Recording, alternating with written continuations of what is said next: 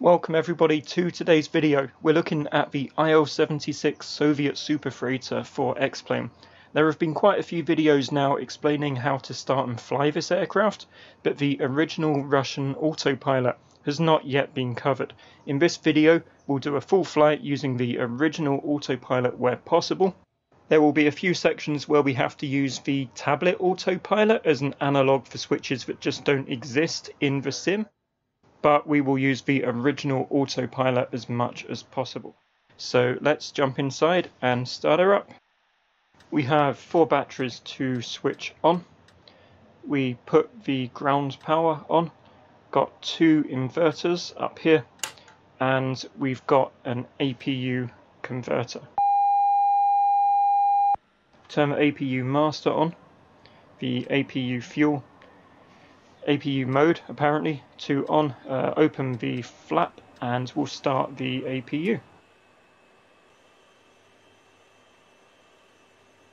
With that done we'll switch over to APU power, switch the ground power off. We've got some more converters to flick on on the right hand side here. Going to switch on the beacon light and the nav lights.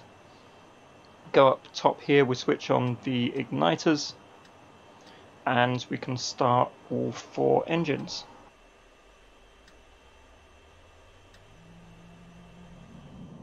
The engines don't sound quite as beefy as you'd expect given the size of this plane. We now switch on the engine generators, the engine bus ties. We can now switch the APU bus off and connect the 27 volt system. We can now stop the APU. Once that's done, can close the APU flap, can switch APU mode off, and we'll just switch on all the fuel crossfeeds. Just got to be sure that you switch on every single one of these switches down here. And then once you've done that, it's a pretty good idea to go back over them and check again.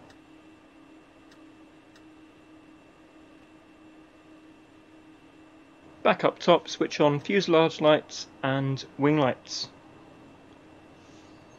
So we'll now go over and insert our flight plan. Just clear out the existing old one that was in there. I'm going to leave this bit here just so anybody who's unfamiliar with the Garmin GPS can see how to use it you select your to, your from, your approach, and your arrival.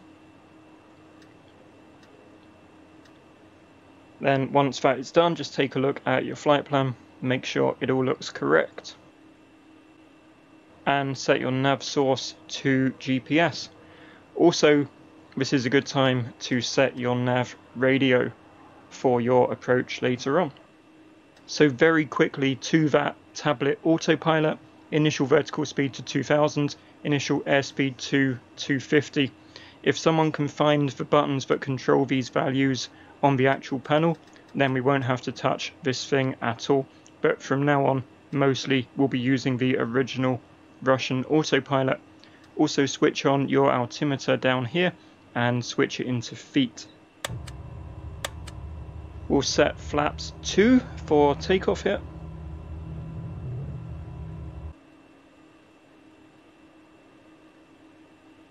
Final step is to set takeoff trim. You want to set this to about 5.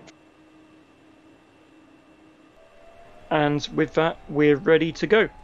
So we go full takeoff power. And you'll want quite a long takeoff run because it's quite easy to stall this out if you take off too soon, if you rotate too soon.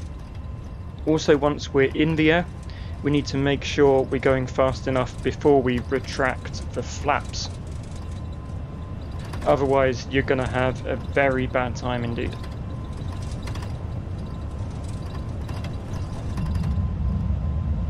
That's it, and rotate gear comes up We'll activate auto throttle and nav mode on the pedestal autopilot here. So the autopilot is now following our flight plan.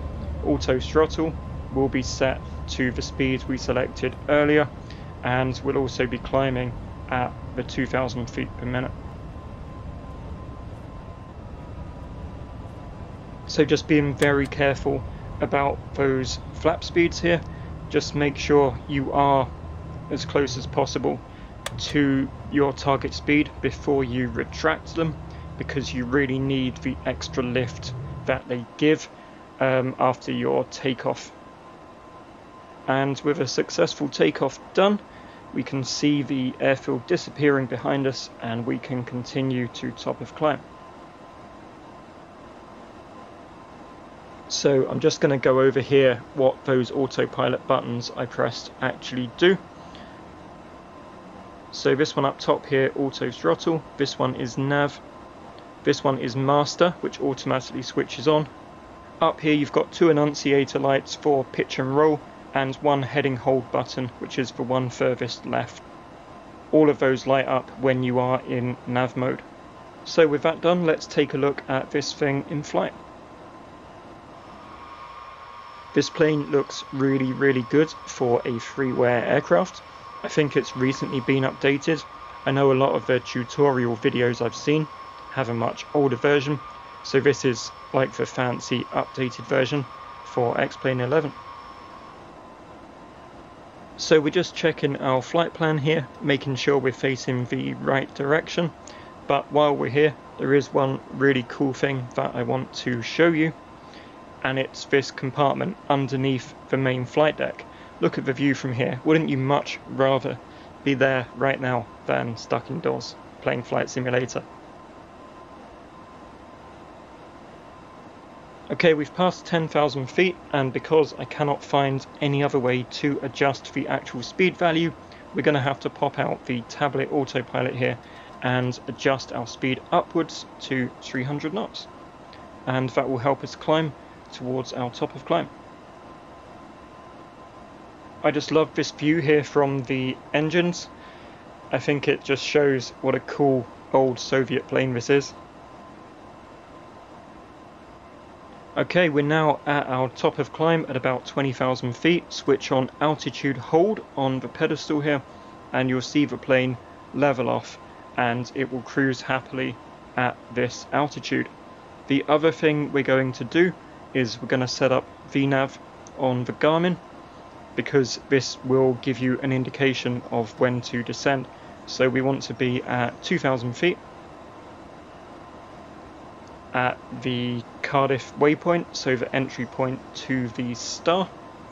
And ideally, we want to do about 1800 1900 feet per minute. So, very quickly, when the 2 feet per minute values match, that's when you should start your descent. And that's the simplest way of explaining VNAV on the Garmin 430. So while we are in cruise, what we'll do is we will take one more look out of this really cool window here just below the flight deck and then I will see you guys at the top of descent.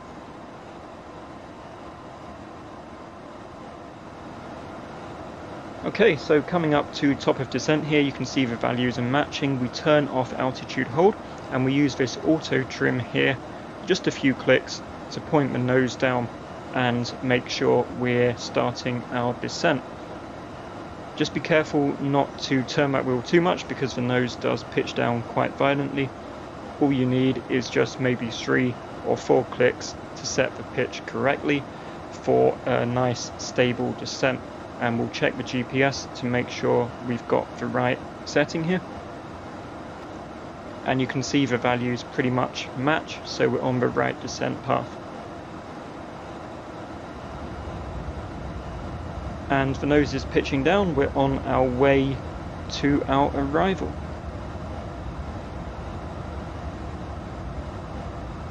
Coming up through 10,000 feet, again just pop out this tablet here and dial the speed down to 250 knots.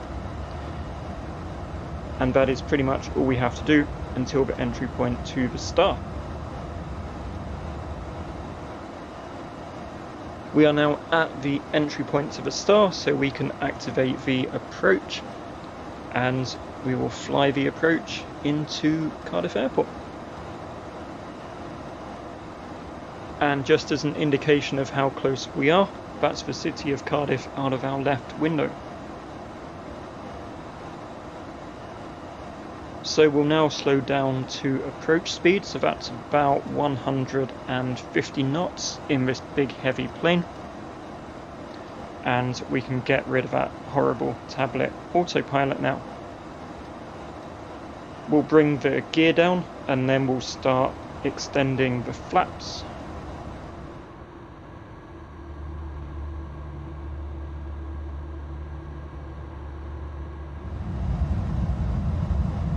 So being very careful here with the flap speeds because I'm not too sure what they actually are, but it seems fairly forgiving. So we'll go full flaps for landing into approach config and it will fly happily in that config at about 150 knots, just keeping a close eye on the GPS so we can see our approach and where we're going here. And that's it, approach config, ready for landing. Fun fact, Cardiff Airport is actually closer to the town of Barry and the resort of Barry Island, which we can see here out of our window, than it is to Cardiff itself. So as we turn to intercept the ILS here, we're going to switch over to localizer mode, so the plane will follow the localizer path that's our approach button. So now the plane will fly the localizer and fly the glide slope all the way down to the runway and we'll just do the touchdown ourselves and you can see the glide slope and localizer indicated there on the PFD or what would be a PFD in a modern plane, whatever it's called in this one. So here we are, we're nicely on track and we're about to land the IL-76, this massive massive Soviet plane into Cardiff Airport.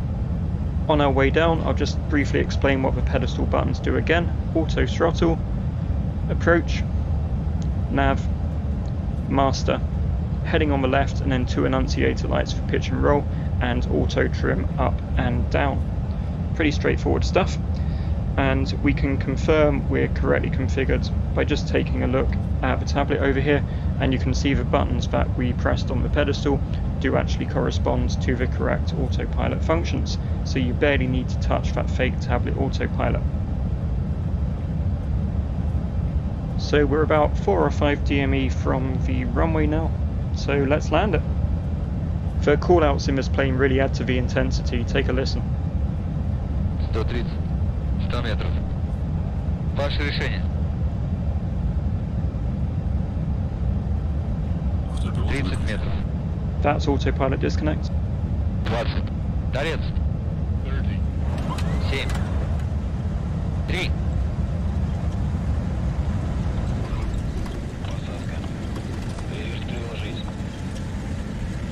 That's touchdown and open the reversers and onto the brakes. It actually stops really, really quickly, this plane. Welcome everybody to Cardiff Airport and we'll just taxi our way to a parking slot. Then we'll look at some replays of the landing. But what a what an awesome plane and I'm so glad that I've been able to figure out sort of the authentic Soviet autopilot. So let's check out these landings. Also top marks to anybody who recognises my favourite Soviet wave music that's playing during this replay. Apparently YouTube doesn't recognise it, so I might just get away with using it.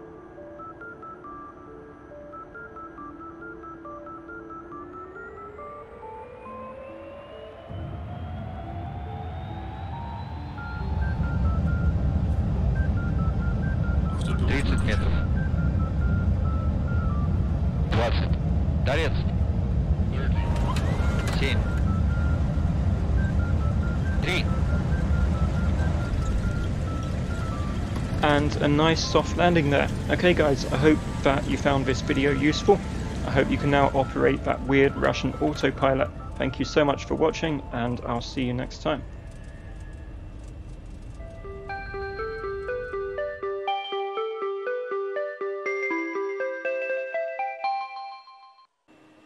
One more thing before I go, if you want to fly this online, it does have a transponder, but you can't directly operate the buttons.